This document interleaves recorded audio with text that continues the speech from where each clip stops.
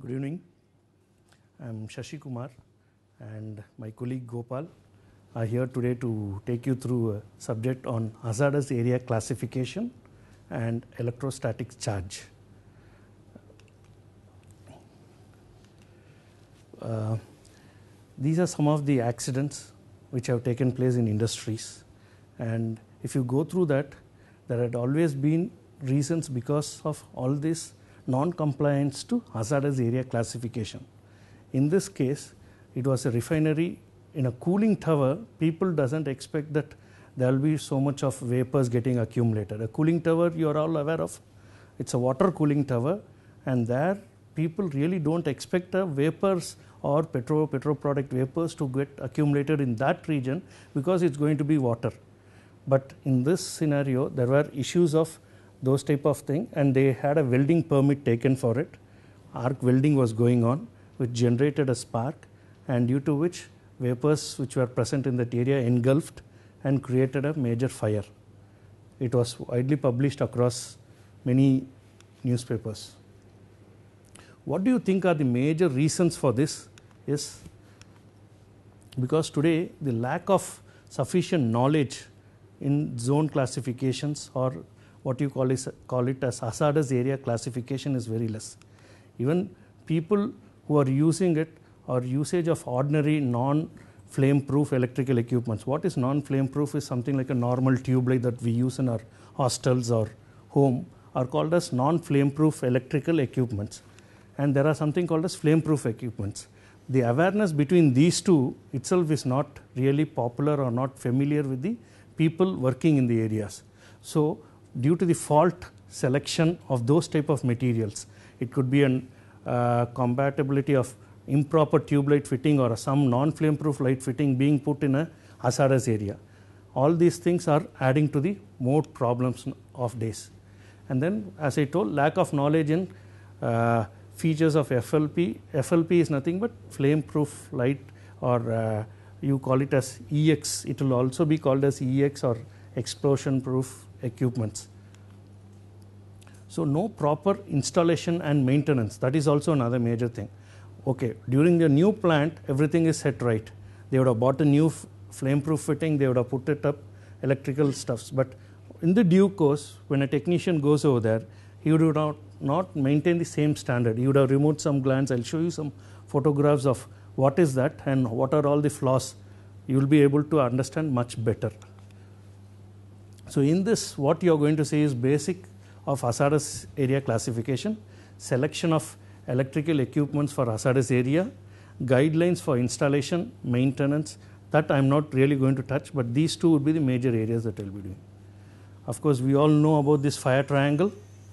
Here in the hazardous area classification, one thing is you have the fuel already available in a process plant or process plant is nothing but all your refineries and everything which process the petro petro products and oxygen of course it's here the ignition source is one which is being added by non selection non uh, what to say uh, if you are not selected the right product in that area this ignition source is going to get generated from that which is going to create trouble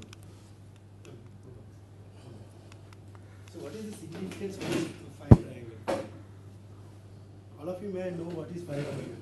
Okay, in our hazardous area classification, the thing is we cannot avoid the usage of flammable liquids or flammable gas, whatever we are uh, handling in a process industry. When in a refinery, we cannot avoid the usage of natural gas or any flammable solvents. Day in, day out, we are forced to handle flammable liquids or flammable solvents or flammable gas. Can we control the oxygen? No. Without oxygen, we cannot breathe, we cannot survive. So the only controllable element is the one ignition second source. Wait. hold the mic Sorry. So the only controllable element is ignition source. Okay. So what does it mean? So if for any fire or explosion to happen, the simultaneous presence of all the three elements of this triangle is very much required. To extinguish fire, we need to remove any one of the limbs of this triangle. If we remove any one, we can extinguish the fire or we can prevent the explosion. In our case, the only controllable element is ignition source. when we say ignition source, it could be electrical arc or spark or static electricity. Here, we, there are so many ignition sources available. Ultrasonic wave, so many, we can uh, uh, tell n number of uh, ignition sources. Here, in these hazardous area classifications, we will be concentrating more on electrical arc, sparks, and static electricity. Okay? So, to understand hazardous area classification, this we need to be very, very, uh, what to say, we, uh, the concept behind the uh, triangle is, fire triangle is very much required. The only control, I am stressing this again and again, the only controllable element is ignition source. If we design our electrical equipment or instrumentation, whatever it is, that should, uh, our ignition source, if we could able to design our equipments in such a way that it should not become a source of ignition. Okay? This is the concept behind hazardous area classification. Why we are doing hazardous area classification is to select proper electrical equipments. No, no, Yes, sir. You can proceed.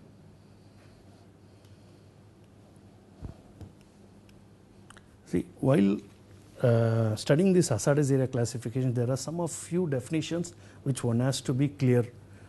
They are flashpoint, LEL, UL, lower explosive limit, upper explosive limit, then auto ignition temperatures.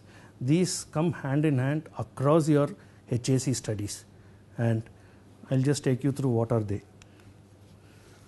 Then another thing which is called as the flashpoint, flammable liquid. What is this flammable liquid? A liquid which can produce flammable vapors. Okay, what is this flammable vapor meaning? Assume you have a kerosene or a petrol. And you're going to have it in your room temperature also. You could still feel the vapors or you can feel the smell. A nail, nail polish or some sort of materials has too much of petrol product in them. So what is this is, say for example, if you have class A product, class A products, their flammable liquid is something where they are temp flash having a flash point which is at 23 degrees, which means at this room temperature itself, it will start giving out vapors. Say, assuming you have a petrol over here, you can easily smell the, smell it, which means the vapors are coming out. It is continuously getting evaporated since the temperature surrounding is greater than uh, greater. Likewise, class B is at the range of 23 to 65, and then class C is beyond 65 to 93 degrees. Okay, so this is what is called as flammable liquid and flash point. Another terminology that you need to understand is AIT, auto ignition temperature.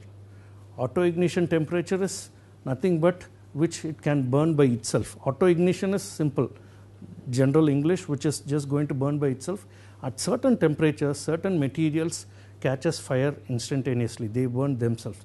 So these words, auto ignition, LEL, UEL, uh, flashpoint, all these come everywhere across the hazardous area classification studies. So these are some basics that you need to be clear before moving further. Now, along with this AIT, auto ignition temperature, each product, as your uh, you will be aware, MSDS is available for each and every product. They have their temperatures clearly given over there. What is the auto ignition temperature for such and such product? So some of them are acetaldehyde, acetic acid, and these type of products. So when you are going to process them, so you need to be aware depending upon their AIT, auto ignition temperature. Assume in this area if you are going to use acetaldehyde or some material, then the respective nearby surrounding electrical equipment. Assume you have a flame proof floodlight fitting and that fitting top glass, assume normal incandescent bulb which we use in our hostels and everything. When you are going to touch it when it is in under operation, temperature is surely 60, 70, you do feel the heat of the bulb. Likewise, so assume certain materials and they are which are placed nearby a motor or it is transferring these type of materials this motor or this bulb or electrical fitting surrounding it or which can come in contact with the material should not be very high so what you call over here is say for example acetaldehyde if you are having processing this nearby some hot steam line which is going over there okay steam uh, sometimes some hot line which is at 175 this fellow would automatically catch fire you don't need to really ignite something or do. So that is what how you select the product and the surrounding so that the entire area is safe. That is what you do in hazardous area classification. Next, coming to LEL and UEL. Uh, LEL, as you are aware, lower explosive limit, and UEL, upper explosive limit. Just to put it in a layman's language, anything has to be at the right proportion. The mixture sh- should be perfect so as to catch fire. If the say oxygen is less, or if the material, say assume uh, petrol or some uh, product, petrol product, the quantity is very less in the fire triangle, and the remaining two components are more, then it will fall in the lower bracket, where this is less mixture or the it is very less, and that you call it as lower explosive limit. When it is in this region, what happens is the air is more, and the material over there which is used for burning is very very less. It might not catch fire. When you go to the upper explosive limit, is this middle line. Beyond this line, material is more rich, oxygen is less, and due to which you will again not have a problem. It might not catch fire.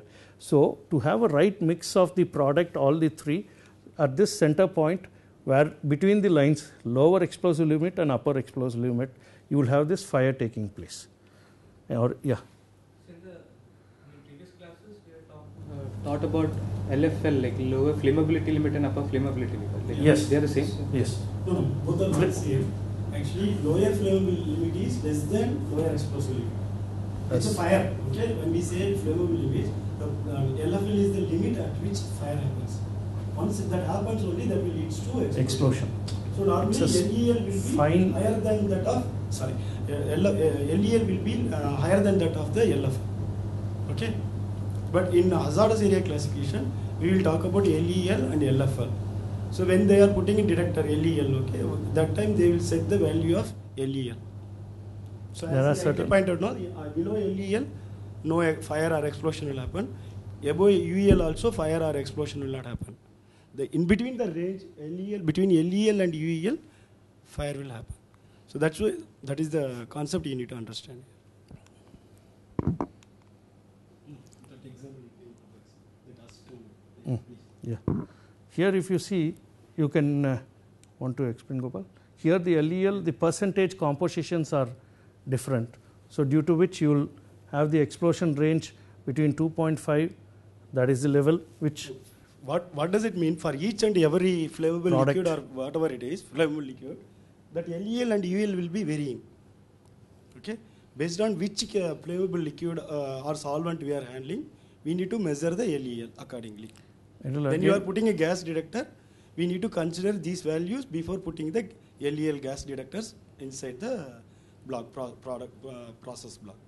assume Okay. here you are processing some LPG or some other product. It's a, it could be a gas. LPG could be lighter, so you need to really have gas detectors at a different location. If it is going to be some other material, then accordingly you need to have detectors values also. You need to uh, select proper detectors. That's that will be helpful in uh, LEL UL values will help in uh, selecting the right detectors also. Now, first of all, why we need to do hazardous area classification? Okay. Okay. Okay. First of all, why we need to do cla- hazardous area classification? Have any idea? Why we have to do hazardous area classification in a process plant? Why? Hazardous classification. Yeah. So like you said, like we can give like welding permits and those kinds of permits depending on the zone classification. But in certain places, We are doing maintenance, that's okay. When I am handling uh, product, uh, when I am producing any material, no? so that time uh, why I have to do hazardous area classification? Why we have to do hazardous area classification is to prevent fire or explosion. That is the concept. That's why we are discussing here. Okay?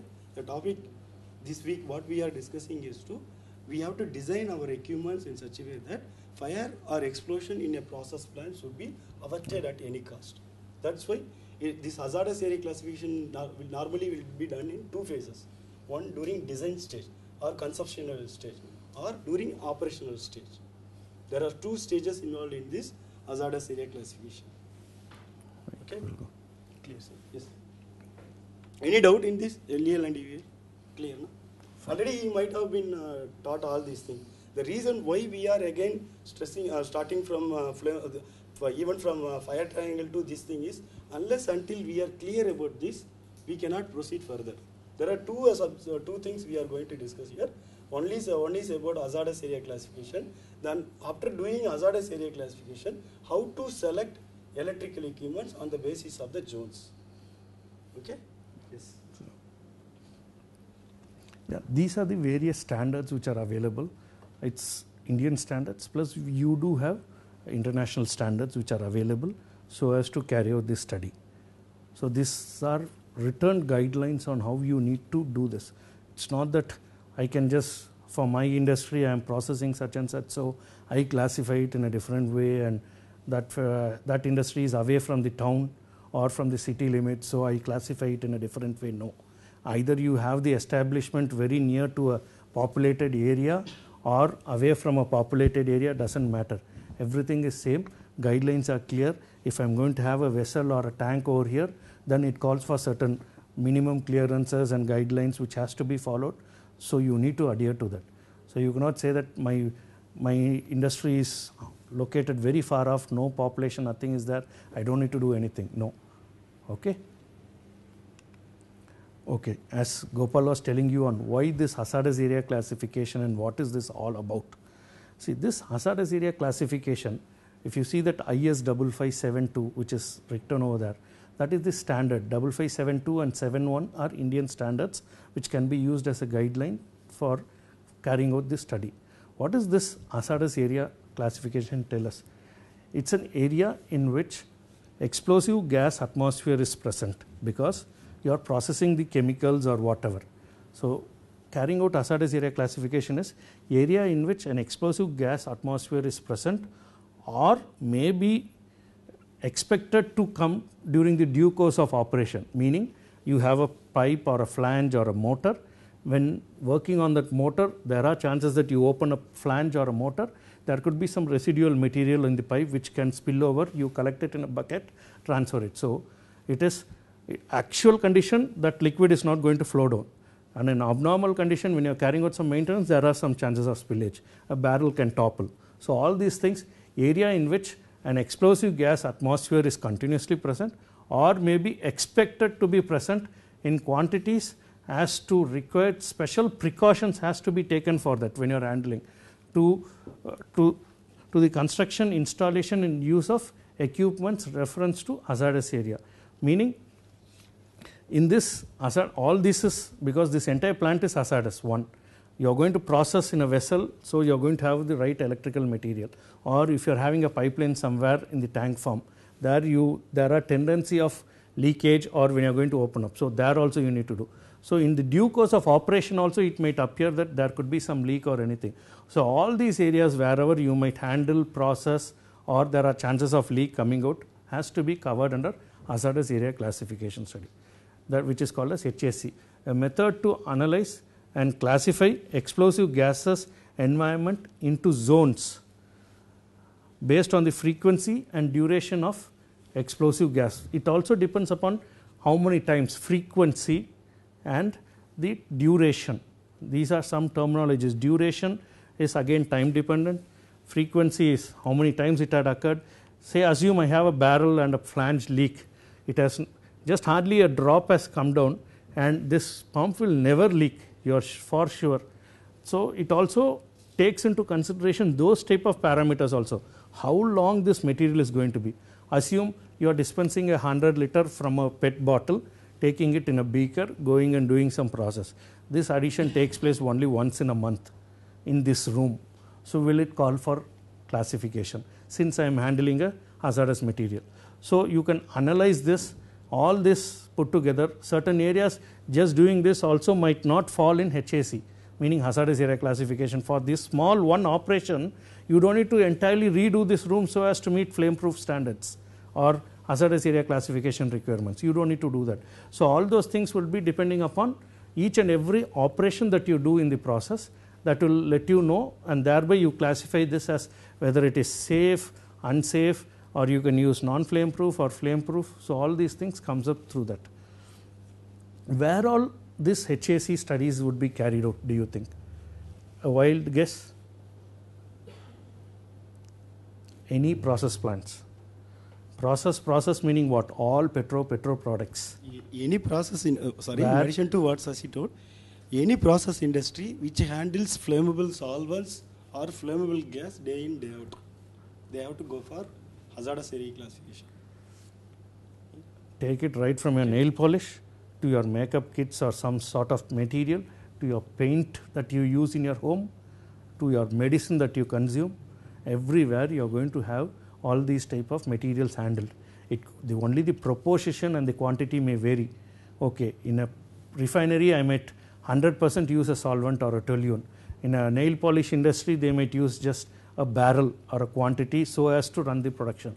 But still or for a paint industry solvent paints which are used on metal coatings there also you can feel that smell. All these industries would go through pharma. All these would go through this hazardous area classification study. Now coming to zones as we as i told that in hazardous area classification what you are doing is classifying the hazardous area into various zones so in this there are three types of zones zone 0 zone 1 and zone 2 now take this typical example of how much of you you have seen at least some solid tank from any tanks which stores diesel or some sort of tank. If you have not gone through industries, when you are going through some railway line crossings, you could have seen on the roadside some big, large tanks which are there. What they really do is they get the crude or whatever or refined product, they store it in their tank from where they dispense it to small lorries so as to go into. I am taking the best example of all our petrol bunks that we all go across and see. So you have a tank, say somewhere on the rail, rail siding or by the harbor somewhere where you have that material getting dispensed from a ship or crude or whatever. From there, it is once again transferred from the pipeline to a lorry tanker which comes out. Now take the typical example which everyone can understand. Here, zone 0 meaning what? Zone 1 and zone 2. Zone 0 is nothing but where there is continuously vapor present. Meaning if I have a barrel, if I have taken 50 liters, a barrel is 200 liters capacity. In this petrol or a diesel, what I have 50 liters, I have taken out. So that 50 liter volume is empty over there. Continuously inside, after closing the barrel, continuously there is going to be vapors generated present inside the barrel. Assume this barrel to a tank, similarly of a larger capacity. So this tank, what you have inside, you have the material. Assume 20 kl of material is there. The dead there is another 10 kl volume free. So always it's in the open, meaning the shell by itself would be having some 30, 25, 40 degrees. So that is something called as what we discussed in the beginning as flash point. So all these materials will start evaporating. Only thing is it might not fully come out, so everything would still be remaining inside. Okay, so this is continuous presence of vapor. Where a zone has continuous presence of vapor, you cannot have any electrical equipments, and that area is called zone 0. Zone 0 meaning zero equipments. You have it like that, but you can still have instrumentation, certain sophisticated equipments. Zone 0, zero electrical equipments. You cannot fit in any stuff over there. So that is zone 0. Then what is zone 1? So that is zone 0, which, which is now highlighted. Then zone 1 is what? You have this tank or a barrel, barrel ka mouth hai, you open it up. From there, you will see that around the opening of the barrel. So similarly, around the small dipstick level where I take a daily monitoring reading, there could be an operator who goes stop and take a reading. For that, they'll give small small opening. There could be one level indicator, or there could be a manual hatch door so as to open or see or for once in a while cleaning, where there are nut and flange and bolts. So these areas around them are called as zone 1, where there are chances of continuously it's not present, but once when he is going to open it, there are chances of vapors coming in that area. And this also frequency is more. And it's not that continuous, but frequency, meaning I do this weekly once or so, I take the readings. So accumulated hours in a year could be some so much number of hours based on which I am classifying it as zone 1. Then zone 2 is all the surrounding area around that is called as zone 2 and ex- uh, examples okay as i told inside the tank then you have the uh, where the hatch door or some instruments are fixed on the top of the tank, those areas would form under zone 1 and above zone 1 you will have zone 2 and assume if there is a bund or dike. What is a bund or dike? You have heard this word? Okay, a bund is what? Assume this is a tank. Always so as to contain the spill. Something happens to this tank.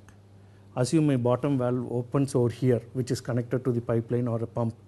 That night some guy some flange cracks or the dead volume over there somehow leaks from the tank due to some pinhole so around the tank there will be a wall which is called the dike wall or the bund this would be used so as to contain any spill it will not be an open level flooring where something leaks from the tank it should not happen something like the recent Ranipet incident or a Bhopal Ranipet incident was something like a bund only.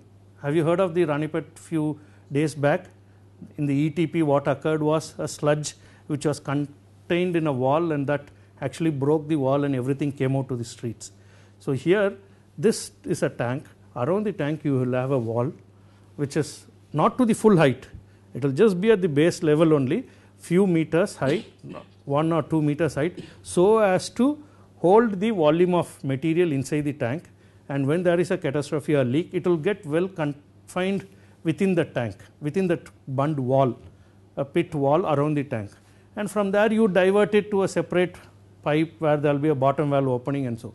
So, that area would also be classified because though my tank is not going to rupture tomorrow itself it does not mean that I cannot classify that area because in that area I might have a motor or a flange or a pipe something over there.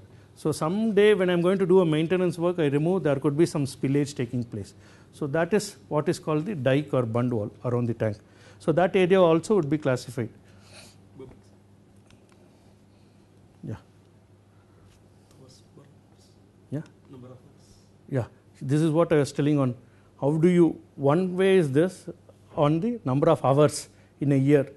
Uh, say assume this can be literally replicated in your laboratory as I gave you an example before. I do this manual operation every one hour once. I do this, dispense it, take this material from here to there, add it in that product.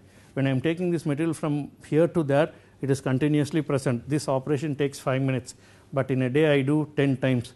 So, it is totally 50 minutes. Then in a year.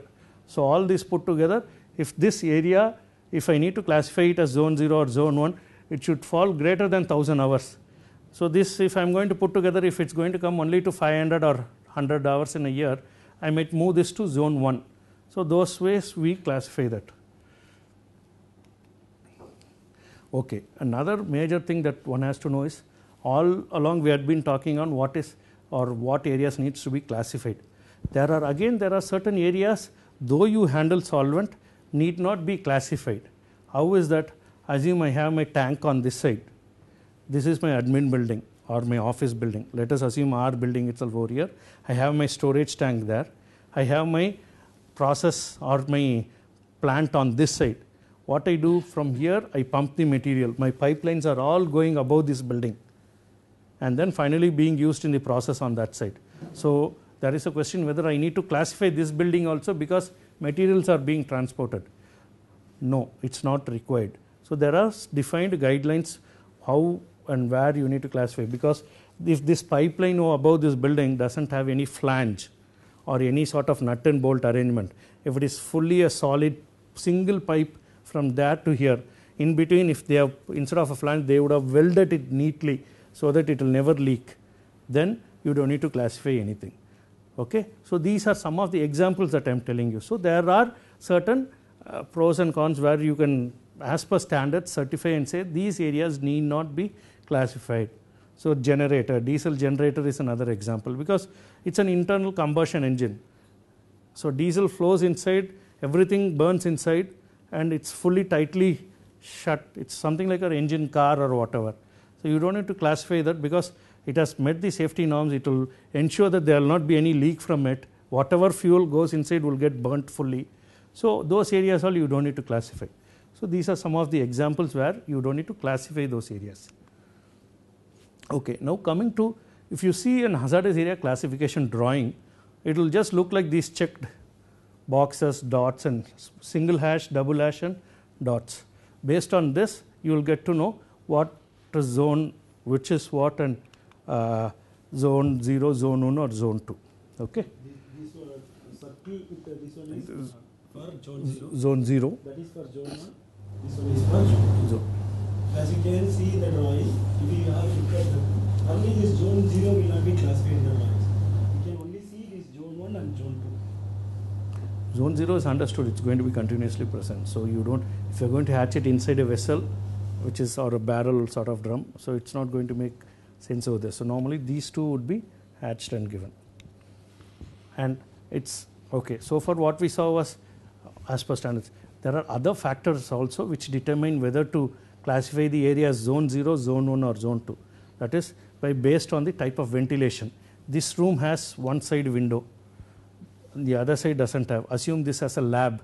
If I open both the side, this side window and this side window, there could be a perfect cross ventilation. Go to a petrol bunk. Petrol bunk is just a single roof standing, or there could not even be a roof. So when he's going to dispense fuel, whatever vapors coming from it immediately gets diluted and goes. You will not have a fuel pump or petrol station coming inside a complex. You fill it not inside a closed room. No, you don't have it inside a multiplex or all those things. Why? Because all these vapors, so much of filling operation, immediately it has to get diluted. If not, what happens is that area would become so concentrated. You can have you felt when you're filling your bike or anything, there itself you will start so much of fumes coming. And assume 100 bikes getting filled over there, and if that is not going to get well ventilated, diluted, it can immediately catch fire. So, these factors also play in a role so as to dilute or uh, what to say bring down the levels. So, when you are having a proper ventilation then a zone 1 area can be classified into zone 2 those type of all these things can be applicable if there is no ventilation. Then I put in a blower or an exhaust fan mechanically continuously operated so as to pump in air dilute the area meaning this is a lab here I don't have open so I need to have an external vent or a, say a ID FD fan sort of some fan which will pump in more volume of air, take out that immediate vapors coming out, dilute and have the room neutral without any much of vapors in it. So on based on the type of air and ventilation properties also hazardous area gets uh, classified. So meaning the level or intensity can be reduced. From zone 1 I can move to zone 2 and from zone 2 I can totally move to safe zone. So I can keep changing depending upon volume of air flowing in that area. Yeah. You said, you gave the example of Advanced Petrol Bus, right? So, it's in a closed room, say it's very concentrated, so uh, the mixture will be too rich for explosion, right? So if you pump in air, wouldn't it be adding oxygen and bringing it into the... First and foremost, you will not be allowed to keep a petrol bunk in a closed room. Assume sometime it's not rich in mixture. Rich in mixture is say at the hundredth two wheeler that you're going to fill. At some point in level, it would have crossed from LEL level to say 30th bike I'm going to fill. At that time, the vapors could be different 40 two wheelers different, 50 different. Only at 100 or when the volume inside the room totally becomes rich in mixture, then it might not catch fire. But before that itself, it would have started somewhere or the other. It could have caught fire when there were only some 20 30 bikes getting filled. Okay, so you will never have any petrol bunks in closed condition. If it is so, then it is really dangerous. And they will also not give permission for such type of operations to be carried out. So I'm just taking the best example which everyone can understand right away. In any industry, eh, sorry, in any industry, they will not allow UEL to be formed. Okay, that's why they will put detectors, LEL detectors. Normally, the detectors, gas detectors, will be called as LEL detectors. LEL for each and every flammable liquid or solvent, there, there is a value LEL to UEL level. When they are handling that particular solvents or liquid, they will set the value 10% of LEL will be set as an alarm in that gas detectors. Once it senses the 10% LEL, it will give an alarm that there is a chance of uh, LEL formation inside. So after getting that uh, value, alarm, they will take some necessary correction action. Okay. If that doesn't happen also, they have given 20% LEL will be given as a trip. trip.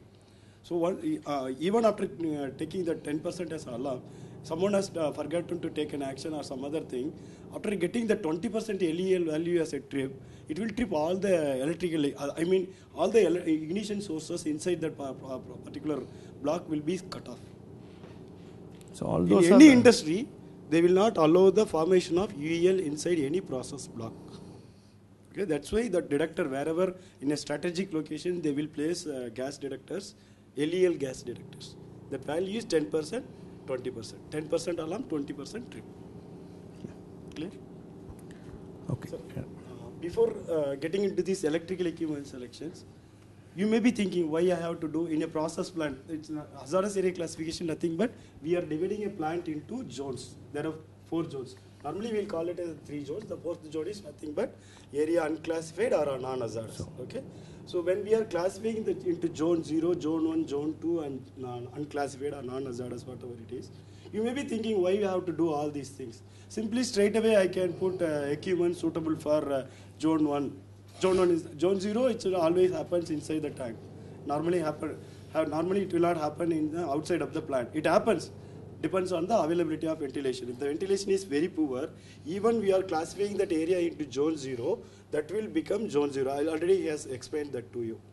So if you are, you may be thinking why I have to do all these things. I straight away I can I can uh, put uh, equipment suitable for uh, zone zero or zone one. Yes, we can do, but what is the cost? What would be the revenue we are incurring? What is the revenue loss? It could be a over engineering design. Okay. In order to select equipment suitable on the basis of zones, we are doing this exercise. Okay. Clear? Yes, sir. Yeah, as Gopal told, see, you can just go as a blanket zoning. Blanket zoning is, I assume that this entire IIT campus is, say, zone 0, sorry, zone 1 or zone 2. Straight away, buy the highest safety product, install it, go, I can still be safe. But EPC or you go to a refinery, or simple example of this ho- hostel you take, how many tube light fittings could be there in this building? and assume if I'm going to ask you to change this tube lights to flame proof tube lights, a tube light is just hardly 40 rupees bulb and a fitting is 150 rupees. If you are going to change this to a flame proof fitting, the fitting alone is going to be 2,500 to 4,000 rupees. And then what is the cost of maintaining it, person going, there could be 20 Allen screws. By the time he opens it, does everything and come out, it will take at least nothing less than one hour to finish replacing one tube light over there. Even if he has all the right tool over there, he will not be able to do it. You cannot just, that's the reason you will not be able to just like that simply blanketly say TKR Merapas capital paisa hai. Abhi for now I have so much of money. I will invest I will buy all flameproof safe products but no. EPC is also everyone is running on cost. The amount of that I expend over here has to get returned in next one year two year to me or to the company. They need to generate profit. If not so that's the reason they try doing the best of the design saying how much ever possible we'll try handling in that area alone. Remaining area we'll try to have it as normal light fitting or normal whatever non flame proof so everything is cost to cost cost implications are there so here we are going to see what is the equipment electrical equipment selection as he was telling depending upon zone 0 zone 1 zone 2 what type of equipment you will install over there This is the question for you. Can you use this wristwatch in hazardous area? It's a simple uh, electronic watch. Can you use it? Yes or no? There are three possible answers: yes or no or no comments. No. No. Why? I need answer. Uh, Nothing wrong, sir. You can come out. yeah, I'm. Uh, battery ha- battery that you're using, if it creates by chance a simple small static charge or uh, little spark, spark will not be there, but static charge because of the metal it is there. Fantastic answer. That whatever you are saying is correct, but there is a limit for that. Okay, as long as your battery is less than 1.2 volt or less than 0.1 amperes, 25 millijoules, your milliwatts, sorry, you can use that. Suppose if your battery is having, suppose you are having an electronic watch with lithium battery, then we need to do risk assessment. So most of the industries, process industries, they will not allow you to wear even uh, electronic wristwatches also. So if that is the precautions they are doing means whatever the installation they are putting install, how much care they have to do, how much uh, thinking they have to uh, consider before uh, putting in any equipment, any FLP electric. You cannot take any cameras, cell phones, everything is out. Whatever you are going to use would be only called as intrinsically safe or it has to, or it should meet the flame proof requirement standards. Okay, so this this session we will be seeing on uh, selection of equipments. Have anyone seen motors? Motor, uh, water Any- pumping motor or anything.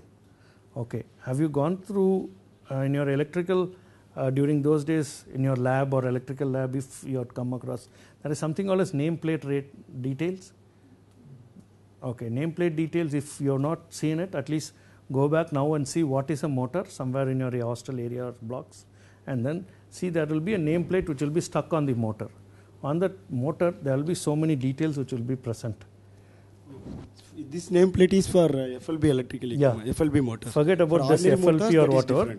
Since I am not going to, since you have not seen the motor, so I am not going to go much into it. But there will be something called as nameplate detail stuck on the motor.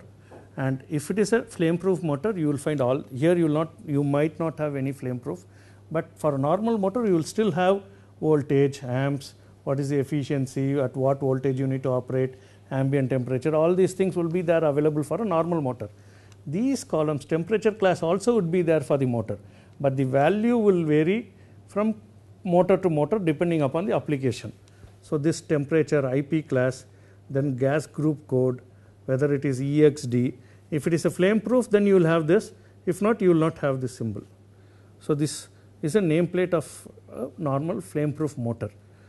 Once you come across someday, someday when you go to an industrial visit or somewhere, just look for a flame proof motor or inside your campus if you have some diesel storage yard tank where diesel is transferred those motors might have or should have this if it is not having that itself is a problem No.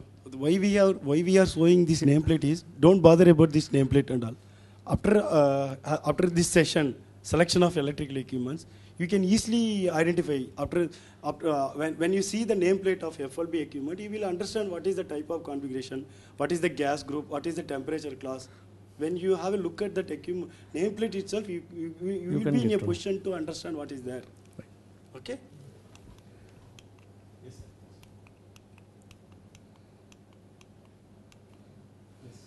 Okay. The selection of electrical equipments in hazardous area and mines all these even a mine is an hazardous area because that is where you have all various gases which are getting generated and it can create trouble. Okay. So all these are being dealt in uh, indian standards 5571 selection criteria will depend upon uh, hazardous area temperature class gas group. I'll just take you through what are they as we previously discussed, these all parameters will be available on the nameplate. So, by reading the nameplate, as Gopal said, you will be able to understand whether this motor can be used in which and which application, which location. So, one you need to re look at the nameplate detail for T classification. So, this T classification is temperature class. If a motor on the nameplate, if you are going to see T1, then what it tells is the motor can reach a surface temperature of up to 450 degrees. Okay? Or it in due course or somehow it can either it could generate that much of heat. That is what they meant to say that. If it have, so T5 example, then the surface temperature can go up to 100 and if it is a T6 it can go up to 85. Do you see the correlation of this T class with AIT? What is AIT? Auto ignition temperature. So, there is a relation between the T class and AIT. Auto ignition temperature is what I said that these materials can catch fire by themselves when they come in contact with certain surfaces itself. So, assume I am buying a motor of say some T1 or T2 or T3 which is having a auto which can go up to 200 300 degree temperature put this in an area where a material is being processed and its auto ignition is 140, what will happen? It will immediately catch fire when there is some small spillage on the motor or something, isn't it? So, if my auto ignition temperature is one, say somewhere acetaldehyde, we were seeing that yeah, 175 is my auto ignition temperature. In this area, if I am going to go and put some uh, T3 or T2 motor, I have told that T2 and T3 can go up to 200 and 300 degrees, whereas my product auto ignition temperature is 175. So, it might immediately catch fire when there is some spillage or anything. So, this is how you rate or what to say AIT with the uh, T classification. So in addition to what Sasi said, so these equipment, so this uh, temperature class, what it says, when you say this equipment is uh, with the temperature class of T3 means these motors or electrical equipments are designed in such a way that even if there is a malfunction or coil burnt out or bearing rubbing, whatever may be the reasons during normal or abnormal conditions, it is designed in such a way that maximum surface temperature of that equipment will not go beyond, suppose if it is T3, it will not go beyond 200. That, that is the assurance we are getting from the OEM or manufacturer. So if I am handling acetaldehyde in a process block, in a refinery, process block A or block B, whose uh, acetaldehyde, uh, acetaldehyde's auto ignition temperature is 175 degrees Celsius. So that if I select electrical equipments of rating T4, T5 or T6, T4 is more than sufficient because its uh, auto su- submission temperature is 135. So I am restraining that EQ. Okay. So I can even I can select T5 or T6 also. T4 is more than enough. But even if I select T5 or T6 also, that's okay, fine. But that is over engineering. Suppose in otherwise, so if I am selecting T2 or T, T3 or T2, T1, if there is a formation of vapor coming out of that acetaldehyde, when it makes contact with the surface temperature of that equipment, it will create explosion or fire. It's called Okay. value engineering. You need to right size the material or the motor or the equipment so as to uh, exactly meet the requirements. You cannot over design or do an under design, isn't it? So every money that you spend is really should be worth it. So you cannot oversize or go to a next level of higher range of motor. That motor could be another 5000 rupees extra, but for us for one motor it could be different. But when you go to a refinery, there could be thousands of motors. So they cost straight away jumps. So they will see to that locate that point wherein everything is designed to the perfection. That's what is process safety all about. Suppose they are handling only one chemical, our life will be very easy. We can straight away select, select the, this one. But if, you are, if they are handling multiples of uh, solvents, then what shall we do? So They what know- they will do, they will select the minimum temperature, mostly T4 or T5, based on which chemicals they are handling, whose auto, uh, whose auto ignition temperature, what is that auto ignition temperature, what is the least AIT, based on that they will select the equipments. Clear? Yes. Yeah. That's all. The, depending upon their AIT, you have an EXD temperature T4 or T5 can be product For petrol or diesel, for petrol or diesel also AIT is available. available. It's uh, if I remember correctly, that's coming around 200. So normally, what they will do, they will select equipments of T4 or T5 or T6. Most mostly, it will be in the range of T4. Okay, there are when you are selecting the equipment, three things we need to consider. What is what is the zone? In which zone I am going to put that equipment? Then what is the AIT of that uh, uh, flammable liquid or solvent I am handling over there? Then what is the gas group? Gas group we will be discussing in the later. Now uh, the next slide is gas group. Okay. Yes. Yeah. Previously we saw on the temperature. Now this is on the gas group. So gas group they have classified this into three, which is 2A, 2B, and 2C. 2A is all propane, ethylene, and then 2C is hydrogen. Here there are certain parameters which are there is a reason behind specifying the gas group. The reason is this maximum experimental safe gap. When you design an equipment, you cannot say that I have completely sealed this equipment. Or take, for example, a jam bottle or any bottle or sort of a. When I'm going to twist it and put it, there is always few milli mm or what to say, uh, less than 1 mm or 0.5 mm, some gap is always going to be there. For a vapor, this gap is more than sufficient for it to go inside. Okay, so that is what you call it as the gap, safe gaps which are available for the those type of products. So if you see, if you are going to handle hydrogen, here it is more critical and the gap available over there will be totally different and the construction also would be different. So as to in any explosive product, the next section is also on that only. Always you are allowing the vapor to go inside. There will be minimum gap. Through this gap, vapor would go inside. Internally, there is a termination or what you call it as the electrical connection which is available. Electrical connection meaning surely it is going to give out little bit of spark here and there when I am going to start a motor, switch on, on off, all those things. So what happens is when these vapors go inside, when this switch is getting switched on, there will be a minute spark which comes up. Due to that spark, the vapor which has got accumulated within this enclosure will immediately blast. Blast meaning it is a very small explosion. That explosion would be contained by this electrical flame proof fitting itself. This fellow will not crack or blast and create more trouble.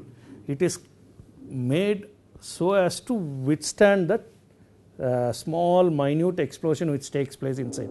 It is something like normal, हमारा घर पे we have this normal domestic switches. How much time you have witnessed a small spark coming over there. When you put over there, there are chances of spark, but it can still withstand that burning capacity, but still you would have used it 10 times, 100 times. Likewise, a flame proof enclosure button also will create a spark inside the housing, but that spark will not come out of the housing and come to the surrounding area so as to create a major explosion.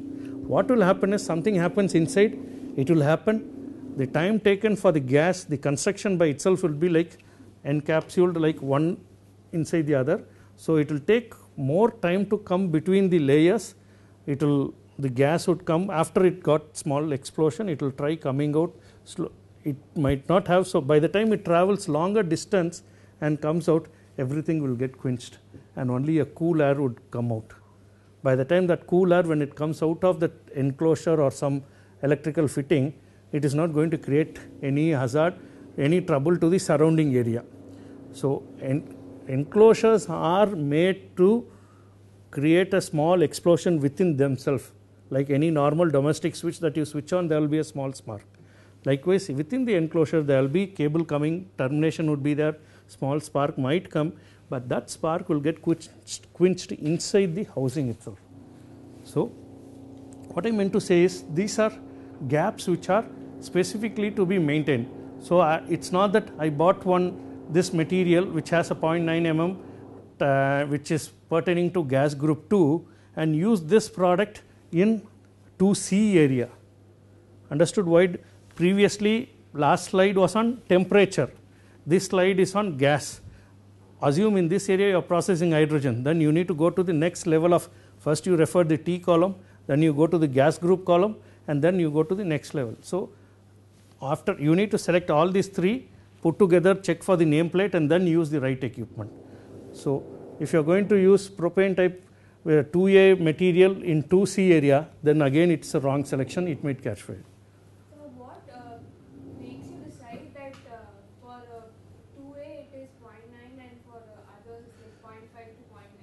What basically decides the gap? Is it the nature of expansion of the gases present? Yes. How hazardous it is and its molecule size by itself, it's all together a design by itself. For, for each and every gas that is converted in based on these values MESG and MIC ratio minimum ignition current ratio based on these values for each and everything there is a value available. Based on that the gases are gases I mean gas when we say gas or vapor or this one based on the values these are grouped into 2A 2B and 2C hydrogen is the most uh, dangerous gas. Okay stringent as you can see the value is also very less Product manufacturers do this. Our job is to rightly select the product. A product is available for a hydrogen, then buy that product only. That could be 5000 rupees. A product for a propane could be 2000 rupees, but it doesn't mean that we, what to say, leverage on the cost and buy for this, but both might look similar. flame-proof equipment both might look similar, but both has its own function. So you need to rightly select the product depending upon the application area that you are going to use. 2C equipments can be used in 2A or 2B or whatever. uh, There these are two locations, but the reverse is not true. We cannot use 2A in 2B locations or 2C locations. 2B can be used in 2A also, but 2B cannot be used in 2C location. Whereas 2C can be used in 2A C is a stringent, but again, it's going to be a cost factor which is going to go into it. So you need to be uh, playing it safe on selection. Yeah, What is the experimental setup? uh, yeah. Time over. Let's wait for. Uh, MESG that will be done in the lab uh, situation. No, I'm saying, uh, what's it?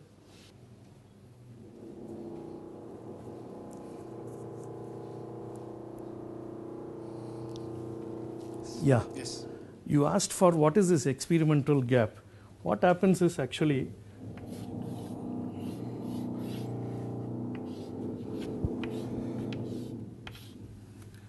assume this is the enclosure top.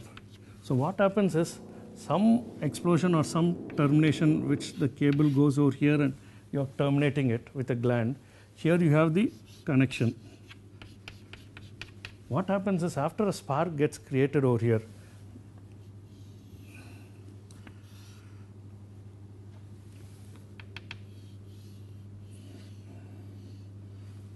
the top enclosure also would have so much of step which would go inside like a uh, vessel and it will be kept enclosed. So what happens during any of a small explosion is the time taken for this spark to come out of this this is the small gap that I'm talking between two top cover and the bottom housing which we have fixed.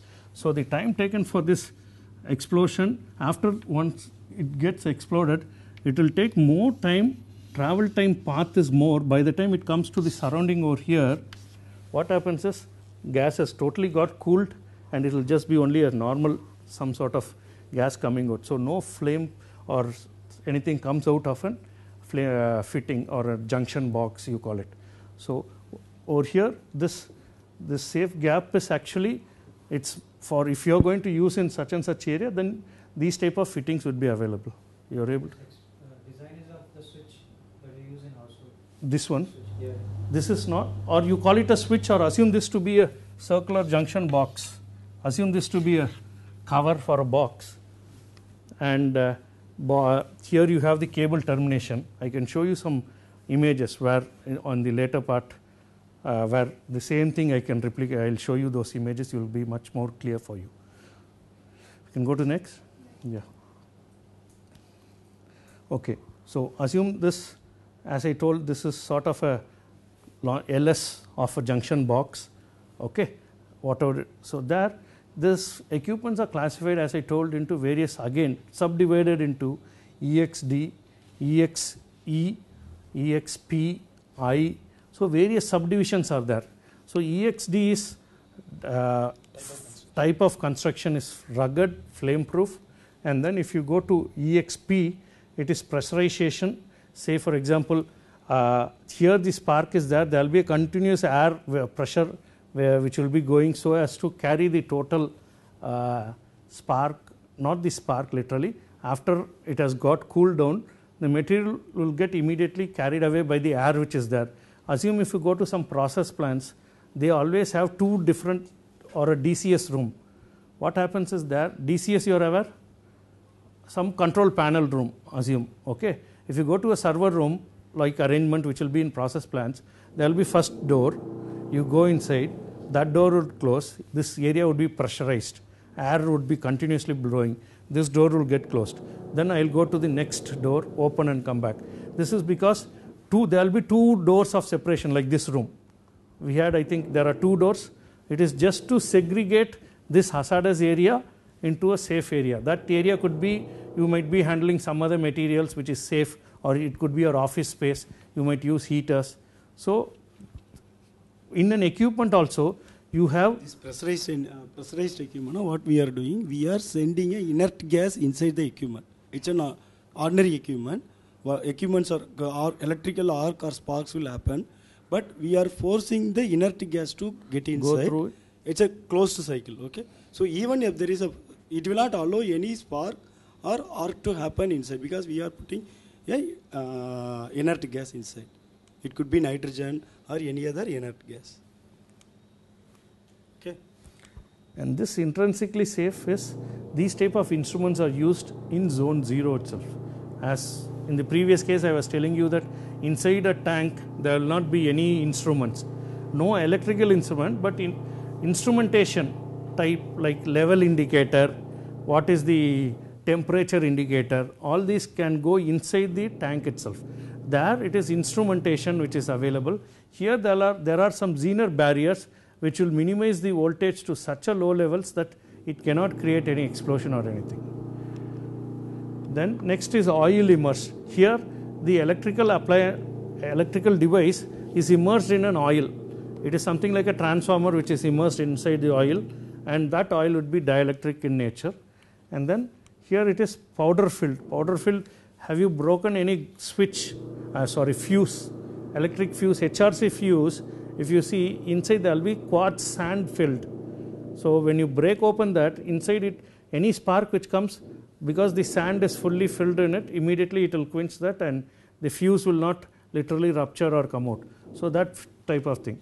And this is a PCB molding, wherein uh, M stands for if you see certain printed circuit boards, what they do is once the components are placed and everything, there will be a printed mold which would be fully poured on it and it will nothing, no component would be visible.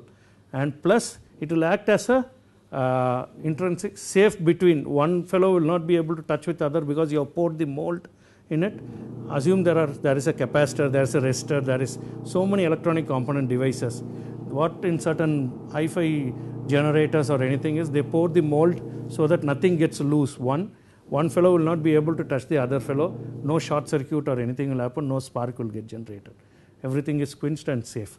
So these are other ways of how they protect the electrical equipments in zones. Now the selection, as we saw that EX, EXI, EXA, EXN. So all these are the type of protection what you see on the nameplate of the motor, what where it can be used, whether zone 0, zone 1 or zone 2, conforming to IS standards, all this would be available over there.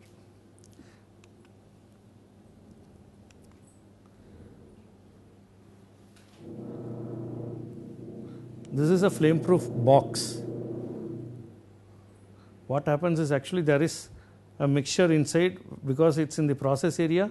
So the mixture vapors would go inside and get accumulated. When there is a spark, something like this which is occurring inside this entire stuff, every time you on off, on off, what we do in our home also, similar application you just imagine. There is a spark generated inside. So, due to that, the entire box will explode internally, but it can withstand that explosion and then finally send out only the cool air and that which will be safer even in the surrounding. That's how this flame proof equipment is protecting. Next is now these are all the various laboratories which are available uh, who are the authorities or the authorized bodies to test all the flame proof equipment. Manufacturers after doing their what is a manufacturing their product get it tested through these labs or these agencies and which is then comes to the market. So what we saw now was this is what you see over there on EXD2C T6. T is the temperature that you see. 2C is gas group code. EXD is a flame proof. So these all put together will be available on the nameplate based on which you can say whether you can use this for hydrogen area or for a propane or water type of material depending upon gas and temperature all put together you read this nameplate clearly. These are the manufacturing statutory authorities who control them. Now coming back to the nameplate detail on a motor. So as we discussed, you will see this temperature, you will see this gas group, you will see protections, uh, whether this is EXD type or EXN or EM and all those stuff. This data would be not only available for a motor, it might be certain details would be available for any normal if you are going to buy a light fitting also you will see that product. Even if you buy a small junction box you can see. I buy a flame proof telephone which i am going to use it in process area. I can get this. Might not be that rpm all those devices nameplate detail might not be necessary for it. But you will still find this gas group or exd or all those stuff okay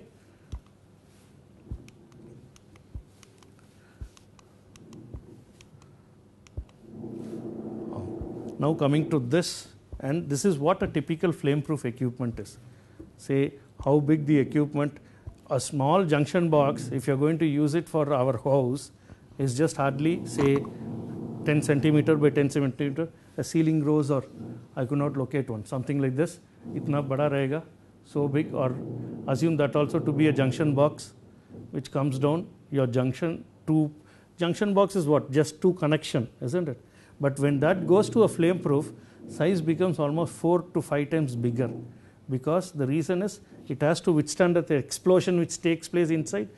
This is sort of a junction box. This is a terminal junction box for a motor. So all these are this is how a big junction box would be. The round one. This you can next time you go to a filling station you will have some street light inside the petrol bunk station. Please note for this junction box on that. Surely you will have this. This is the junction box. From where one side you will connect it from here it could go to the street light pole tube light which is inside the petrol fuel station. So this junction box by itself you can see will be very big. Okay.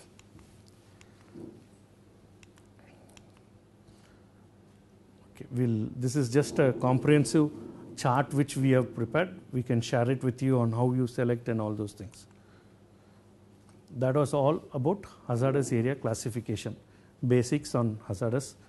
And now what we'll take we'll go through now the static electricity. So far so good?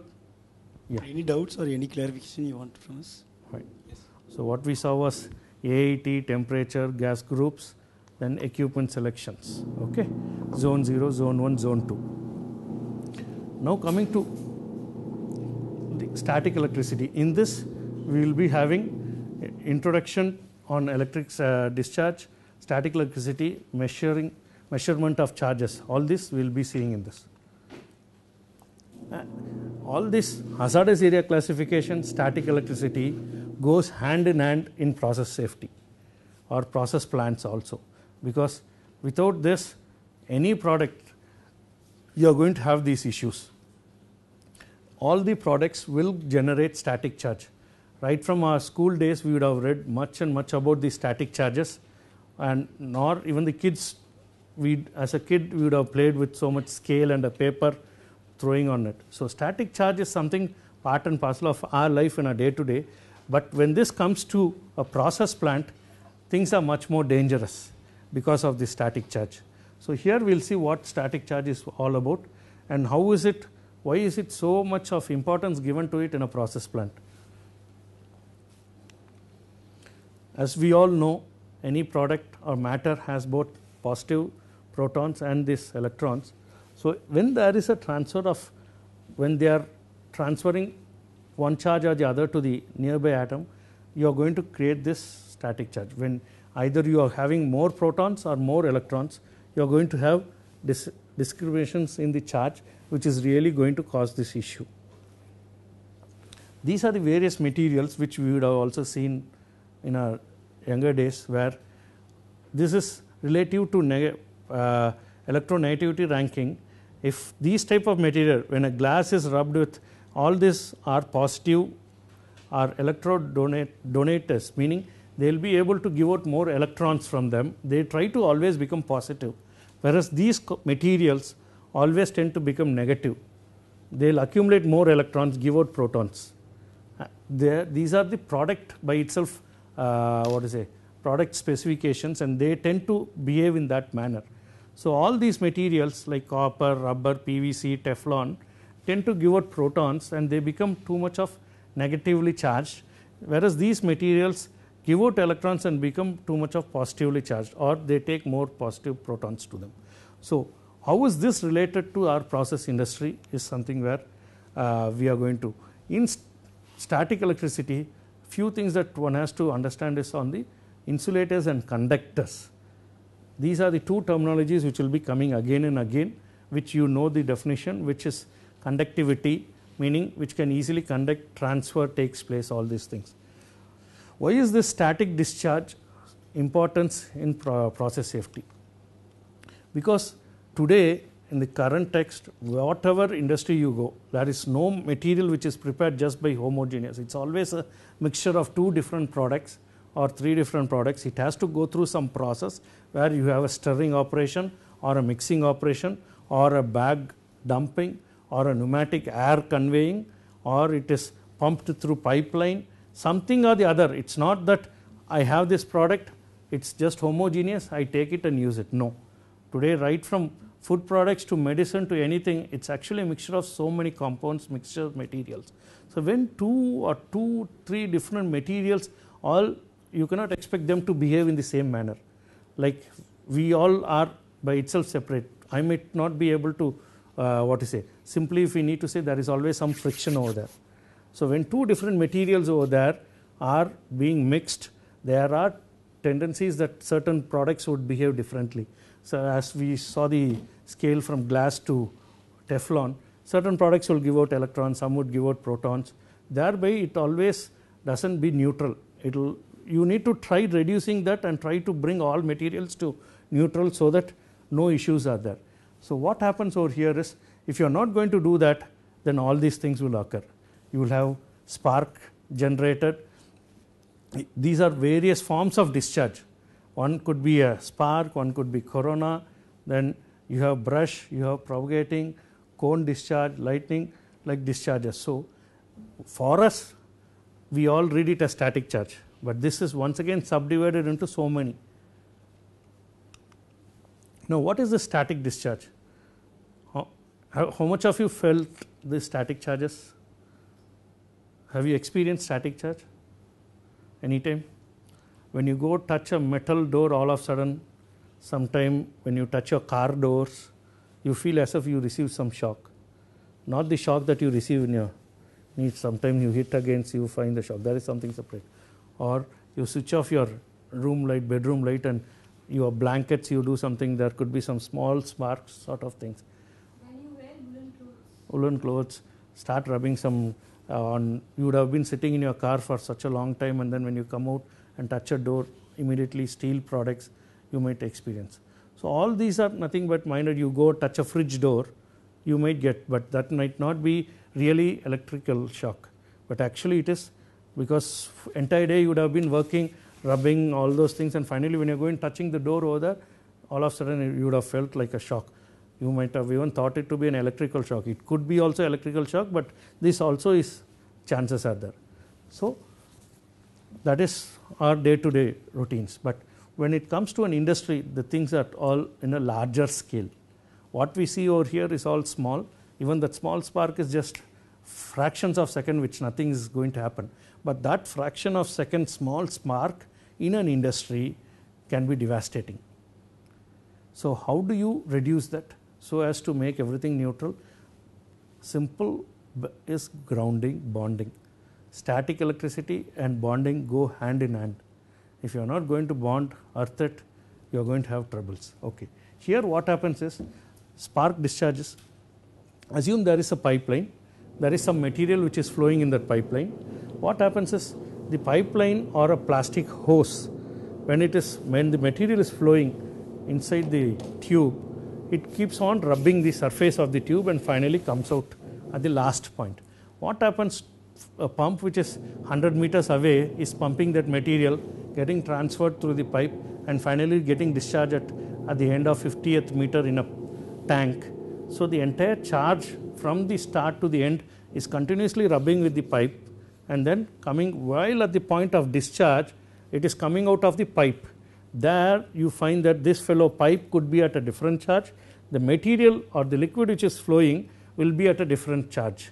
And at the point of coming out of that pipe, and assume this is a tank where the water is, or not water, say some solvent in a chemical plant or a petrol which is getting transferred.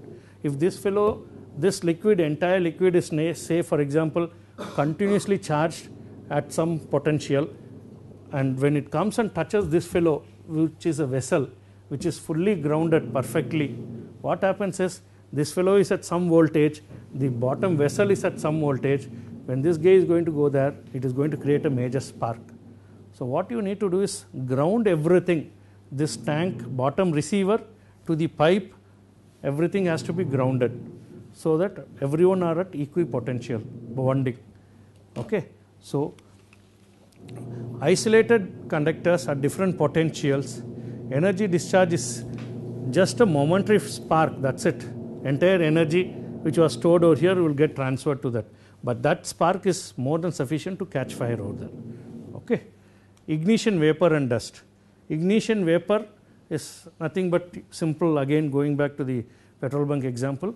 Vapor how many of you have seen that he is having a petrol gun he keeps the gun inside your vessel okay? If you see the vessel this is a nozzle.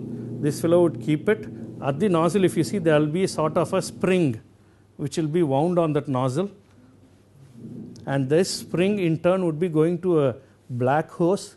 That black hose actually is not just a simple rubber hose.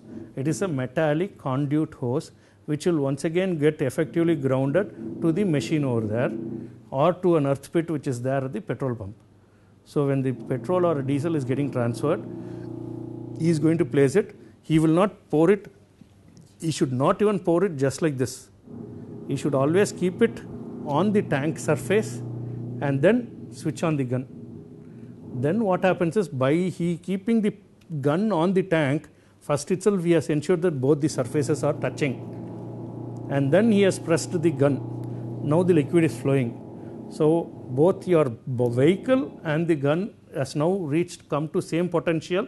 It has connected to earth and then the petrol is getting filled. You should always ensure this. Even if someone is in your petrol pump in a two wheeler when you are standing if he is just simply going to come and fill it like this don't allow him.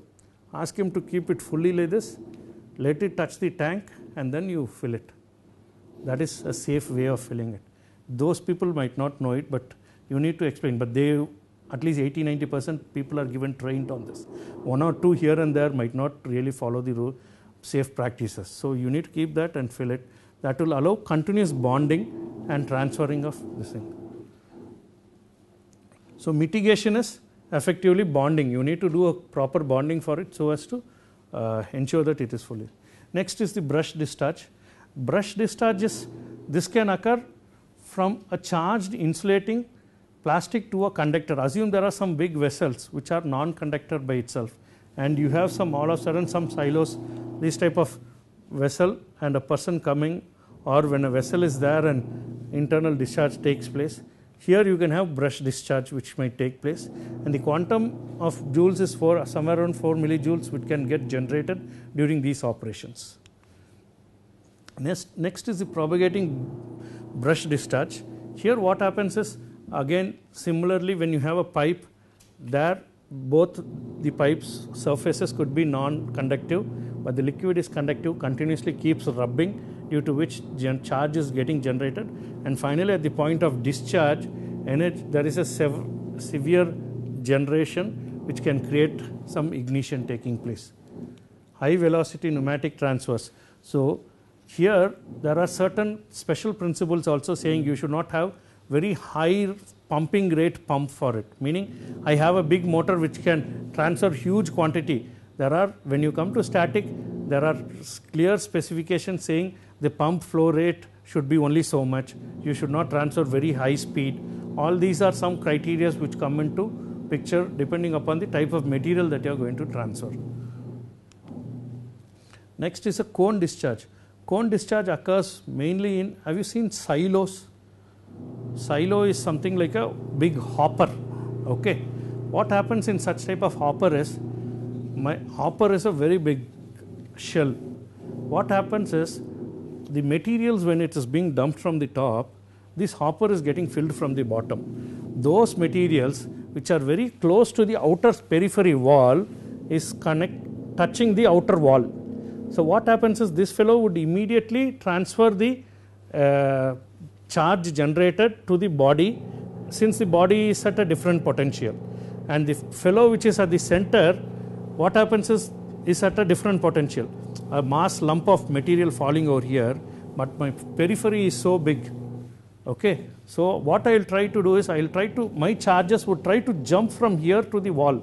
So the wall surface is at a different potential, material is at a different potential, and there are cases where silos collapse because of this. If you are not properly designed a silo, big silos. So what they do is all these silos has to have center also too many partitions, so that it whatever materials are falling, it is effectively touching. It should not so happen that I am a material, I am touching only another material product, and I am not touching the outer periphery metal part you should effectively ensure that maximum storage materials are in contact with all the metal parts for which they will have sort of a partitions. Too many partitions in a big silo so that all products are effectively able to discharge and come to neutral. These are all the various measurement devices that we have in the market. We have electrostatic field meters then you have surface resistant meters.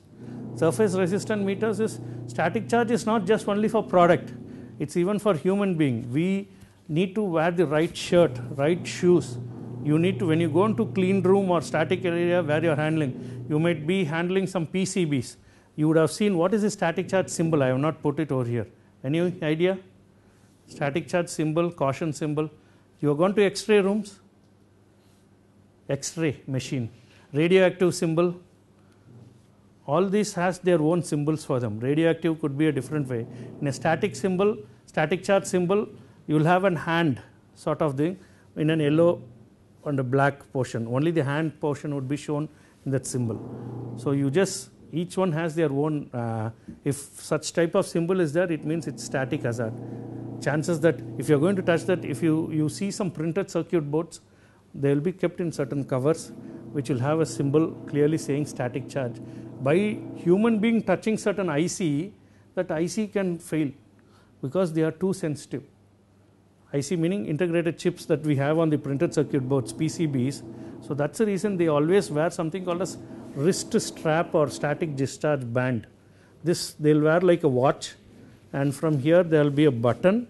This button would in turn be having a wire, which will go to a earthing uh, strip, so that you are ensuring before we even touching we will wear this so that whatever charge we have accumulated in our body will get transferred and even while handling the card it is safe to handle. So that no component would fail and all those things. This uh, device is used for measuring the uh, say your clothing. What type of cloth you have kept and what is the resistance and so as to whether it is safe to wear it in those areas. So mitigation measures you need to effectively bond it, ground it, and then you need to ensure that the speed restrictions of material which is getting transferred, all those things are restricted to certain flow rate. So, all these would help in determining uh, the static electricity generation in any material. Coming to the last, these are all the various products which are available in static uh, electricity studies. You have uh, conductive shoes, you have ionization blowers, you have mats. This is what I told on the band, which will be used in like a wristwatch. And then you have static buckets if you are transferring material from one place to other, all those things. You have various products. Then you have ionization blowers, air blower. Assume this is a clean room and AC sort of air is coming continuous. There are chances that this room can get ionized and it's a safe area. So you have deionizing blowers, ionization blowers are there which will compensate for the uh, this. This is a printed circuit board with a cover. What I told was the static cover which will thereby safeguard all the IC components and everything even when you're handling them. And this is a mat sort of assume I'm going into certain zone there I'll go stand on that mat ch- check my charge whether I am safe to go inside. Then once it gives yes, then I will be able to. That's it. Thank you. These are all static. Any queries, questions? I think the PPTs would be shared. Okay. Okay. Thank you.